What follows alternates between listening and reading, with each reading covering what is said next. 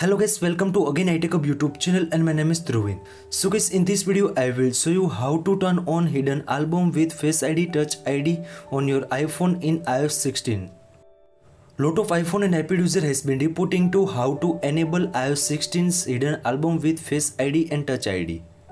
So guys, before the starting video, please make sure you are subscribed my channel, like, comment and share and also press the bell icon for the more informative video about iPhone and iPad.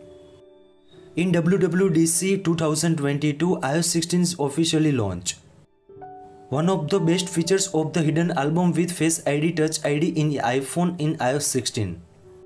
Now question is how to enable. Now first of all find out the settings app and open it. In the settings app you can see also scroll down and find out the photos section.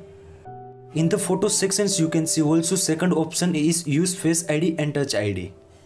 Now please make sure to turn on this option. After the third one option is show hidden album. So guys if you turn on so guys please make sure turn off it on your iPhone and iPad.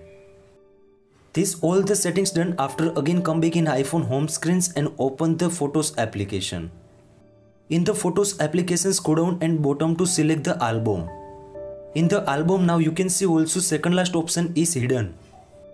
Now please make sure you can see also Face ID and Touch ID enable. The Face ID and Touch ID it's depend on your iPhone models. So guys this video you can easily iOS 16's new features hidden album with Face ID Touch ID enable on your iPhone and iPad. I hope this video helpful for you. Thank you so much. Please subscribe my channel, like, comment and share. If you any query about it, so please DM on my Instagram and also comment on this video comment section. Thank you so much.